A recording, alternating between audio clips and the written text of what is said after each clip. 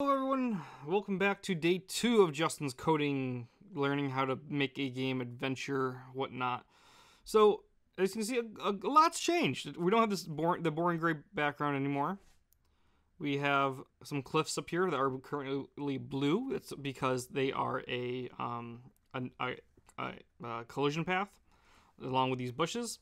But you notice we got these, and we got paths and all this stuff now. Um, this is just a kind of a tester scene, so don't expect this being in final game whenever I get around to that.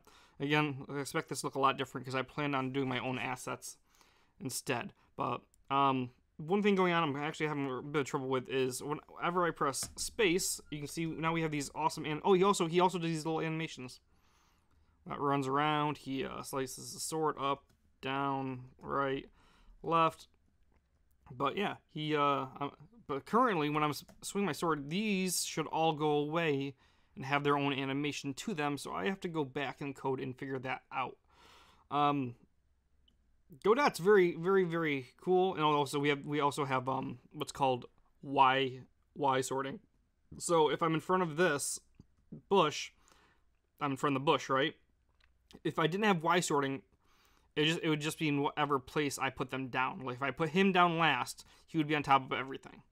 But since we're Y sorting now, he actually can go in front and behind depending on the Y axis he's on to um to be you know to show where he's at in the world. Like he can go behind this, but he, when he's in front of it, he's in front of it.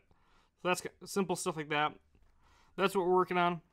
Got some cliff terrain, so we're working on that stuff. But like I said, um, stumping at the moment, and we will get we will uh, hopefully get to that in the next time I have a chance to work on this. It's going to be a couple days because of work, unfortunately. But yes. So this is day two of my coding game making journey.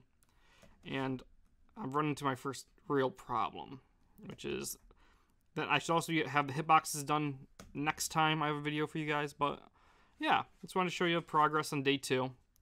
It, it's just a big difference. I'm still working on my own assets, so actually, I'm debating on whether to hire somebody to help me make assets because it's a lot of work and I'm not sure if I'm going to be able to pull it off. But I'm going to try first, then I'll look into maybe asking for some help or uh, pay somebody. So yeah, we'll see.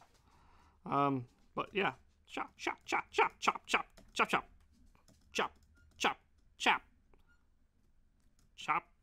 You're supposed to go away. What's wrong? It's coding. Why?